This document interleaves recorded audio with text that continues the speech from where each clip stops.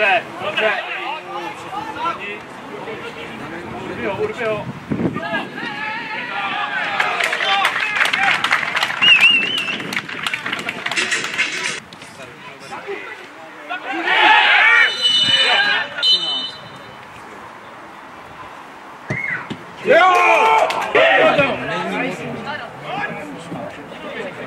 Proti, proti.